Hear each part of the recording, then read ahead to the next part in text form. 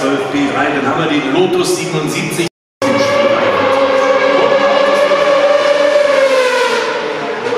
Überzahl, den 312er.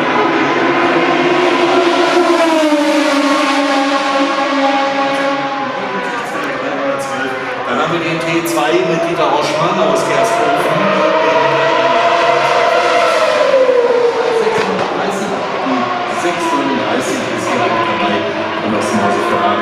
Holger Lange. René Arnoux.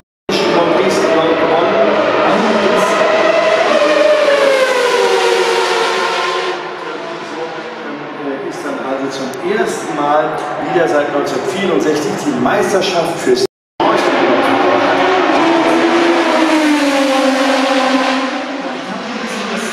Lotus 77, diesem John Player Special Auto, der ja so